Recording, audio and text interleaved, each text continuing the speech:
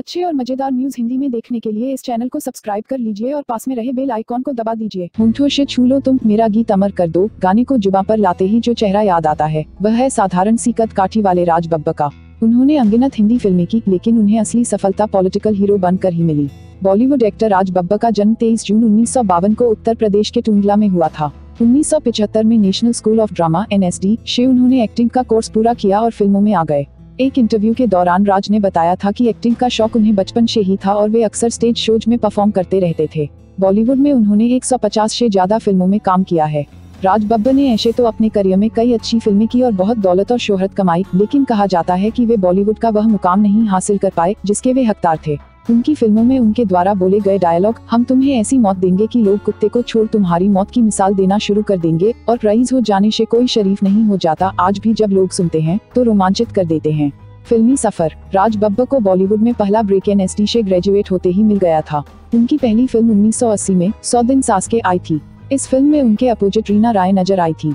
राज बब्बर को पहली सफलता वर्ष 1980 में आई फ़िल्म इंसाफ का तराजू शे मिली। इस फ़िल्म में उन्होंने एक रेपिस्ट की भूमिका निभाई थी, जिसे अंत में फ़िल्म की नायिका गोली मार देती है। इसके बाद राज की कई बेहतरीन फ़िल्में प्रदर्शित हुई, जिन्होंने उन्हें इंडस्ट्री में स्थापित किया। उनकी बड़ी हिट फ़िल्मों में बी आर चोपड़ा की निकाह शामिल है। राज बब्बा आज भी लगातार फ़िल्मों में सक्रिय हैं। कॉपोरेट बॉडीगार्ड कर्ज, फ़ैशन, साहब बीवी और गैंगस्टर दो, बुलेट राजा, तेवर जैसी आज की फ़िल्मों में भी राज बब्बा उतनी ही ऊर्जा से अभिनय करते नज़र आते हैं, जितना कि वे अपनी शुरुआती दौर की फ़िल्मों में नज़र आते थे। दो शादी। आज की आवाज़ में राज बब्बर ने अभिनेत्री स्मिता पाटिल के साथ काम किया था। फ़िल्मों के साथ स्मिता राज बब्बर की रियल लाइफ हीरोइन भी बन गई उस समय राज शादीशुदा थे और उनके दो बच्चे भी थे। स्मिता की माँ ने उनके और राज के रिश्ते को नकार दिया था, लेकिन किसी की एक न सुनते हुए दोनों ने साथ रहना शुरू कर दिया।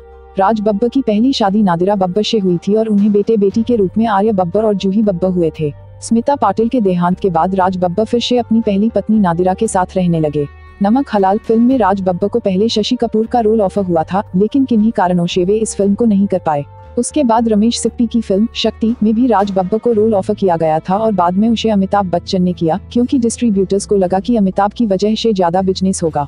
बता दें कि राज बब्बर की उन्नीस सौ तिरानवे की फ़िल्म अटल इरादा और उन्नीस सौ चौरानवे की फ़िल्म चक्कर पे चक्कर फ़िल्म बनने से पहले ही रद्द हो गई थी। राज बब्बर राजनीति में भी सक्रिय हैं। राजनीति में उन्हें कई बार विवादों का सामना करना पड़ा है। अक्सर उन्होंने अपनी फ़िल्मों में नेता और सरकारी अफसरों का रोल अदा किया, जिससे उन्हें अपने राजनीतिक कौर्य को आगे बढ़ाने में भी सहायता मिली।